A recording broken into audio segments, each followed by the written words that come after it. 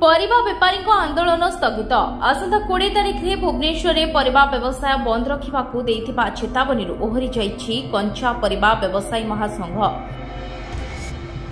ମହାସଂଘର କର୍ମକର୍ତ୍ତାମାନେ ବିଏମ୍ସି ଅଧିକାରୀଙ୍କ ସହିତ ଆଲୋଚନା ପରେ ଦାବି ପୂରଣ ହେବାର ପ୍ରତିଶ୍ରୁତି ମିଳିଛି। ଏଣୁ ପୂର୍ବ ଆନ୍ଦୋଳନ ନିଷ୍ପତ୍ତିକୁ ସ୍ଥଗିତ ରଖାଯାଇଥିବା ସୂଚନା ଦେଇଛନ୍ତି କଞ୍ଚା ପରିବା ମହାସଂଘ ସଭାପତି କବିରାଜ ସ୍ୱାଇଁ। ମହାସଂଘ କରିଥିବା ସମସ୍ତ ଦାବି ଲକ୍ଷ୍ମୀ ପୂଜା ପୂର୍ବରୁ ପୂରଣ ହେବ ବୋଲି ବିଏମ୍ସି ପ୍ରତିଶ୍ରୁତି ଦେଇଛି। ଖୁବ୍ ଶୀଘ୍ର ବିଏମ୍ସି କମିଶନର ମଧ୍ୟ ଏନେଇ ଆଲୋଚନା କରିବେ ଓ ଲିଖିତ ପ୍ରତିଶ୍ରୁତି ଦେବେ ବୋଲି ସେ କହିଛନ୍ତି।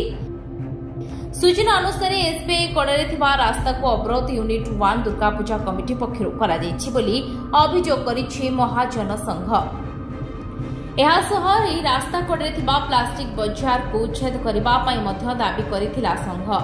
ଏହାଛଡ଼ା ଭଗବାନପୁରରେ ଥିବା ଦଶ ଏକର ଜମି ଯୋଗାଇ ଦେବାକୁ ସଂଘ ଦାବି କରିଛି। ଏଭଳି ଅନେକ ଅଭିଯୋଗ କରି ମହାସଂଘ ଆସନ୍ତା କୋଡ଼ିଏ ତାରିଖରେ ପରିବା ବ୍ୟବସାୟ ବନ୍ଦ ରଖିବାକୁ ନିଷ୍ପତ୍ତି ନେଇଥିଲା। Bureau report Dinalipi live.